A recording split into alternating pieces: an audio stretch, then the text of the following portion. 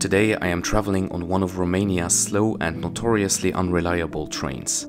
The journey takes us from Brasov to the town of Sighișoara in Transylvania. On these provincial routes, not much has changed since communism. The adventure begins in Brașov, Romania.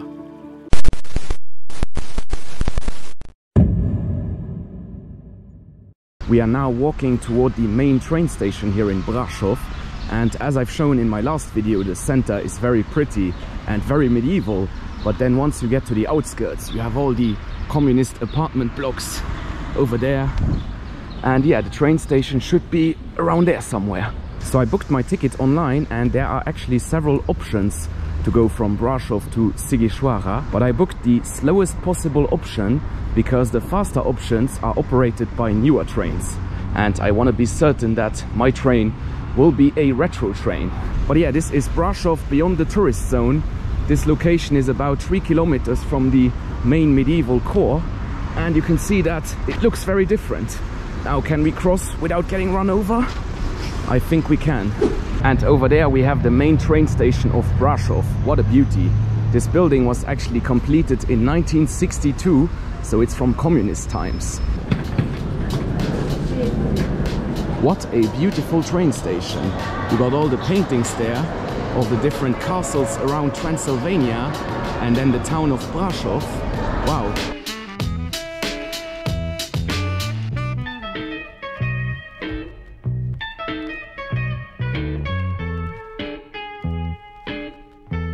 So those are the trains that I wanted to avoid because I want to ride one of these beautiful retro trains here. I'm not sure if that's mine, but I'll go have a look. Wow, look at this locomotive. I'm pretty sure this has been running for at least 40 or 50 years. And yeah, I think that this is actually not my train because here it says Iași, which is not where I'm going. And yeah, I got myself a bottle of water inside the train station because here at the platform, everything is closed on a Monday. So you won't get any Coca-Cola here. So apparently this is my train here. Let's go check it out. Wow, we have some compartments here and also some free seating. Let's see.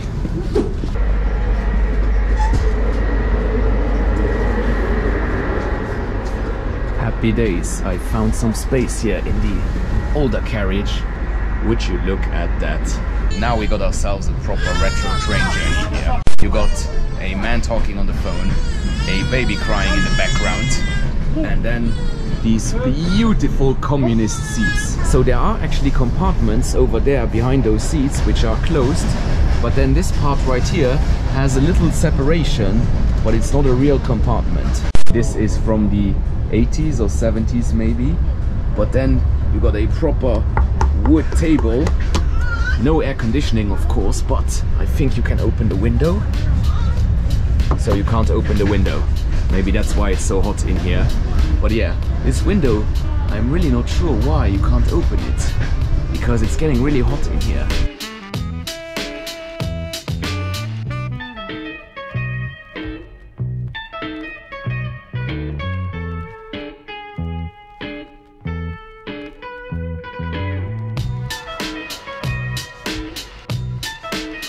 There is some air coming out of here, but it's not really cold. It's more like lukewarm air. So yeah, it's not real air conditioning. And the window doesn't open. So we are in May now. It isn't super hot outside, but in summer, this would be absolutely boiling. And yeah, this train stops probably 10 or 15 times in 100 kilometers. That's why I think it's one of the slowest trains I've ever taken. As you can see there, it's a train station but it's actually just a truck and over there a road junction. After half an hour, it became unbearably hot in the free seating area, so I went looking for a compartment with an open window. Alright, I've been sitting in this semi-open carriage here, and now I found a compartment that's free. Here we have the proper compartment, and the window is open. Happy days. We got another passenger here, and yeah, this train hasn't been maintained in decades probably. I mean, I hope that the electrics are maintained, but this compartment here hasn't changed since the days of Ceausescu, I am pretty sure about that. Now this is undoubtedly one of the slowest trains I've ever been on. It takes 4 hours to do 100 kilometers and stops 15 times. There is no Wi-Fi or restaurant car and it is also pretty filthy. On the plus side, the seats are super comfortable and you get the full retro experience. This is called Chata or Kata. I don't know how to pronounce that. But anyways, the village is over there and then you got this little train station here. And look at the state of that building. I mean, that building hasn't seen any maintenance in many, many decades. And there are actually three seats for people waiting on the platform over there. But I'm pretty sure that that will be enough because there will never be more than three people waiting here. And right now there are zero. And also zero people who got off here. So I'm not sure why we are even stopping here.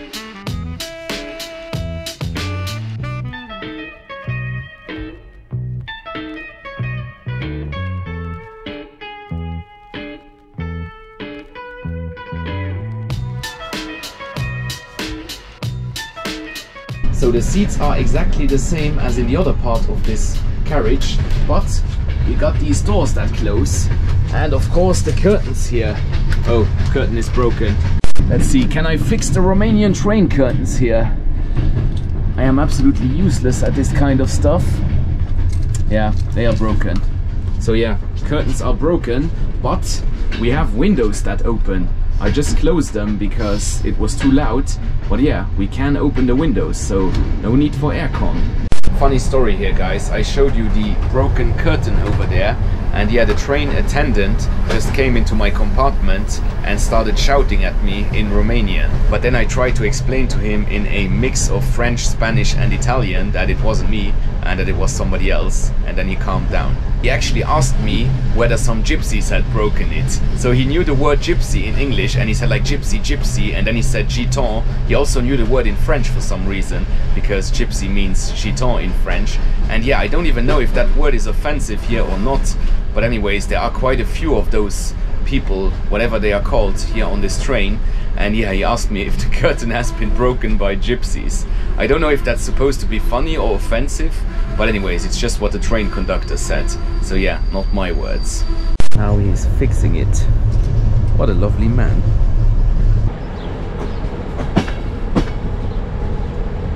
Right guys, we are almost in Sighișoara and yeah, this train journey was pretty exhausting. Mostly because this train is just so slow.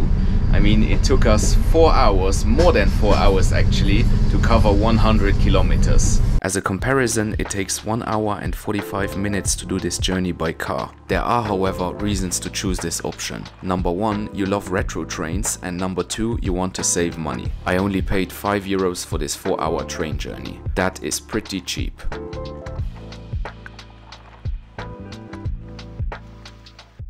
So this is Sighișoara, a very beautiful town in Transylvania apparently. And yeah, I'm gonna do a city tour here in Sighișoara, but that will be in a different video. For now, it's goodbye from here.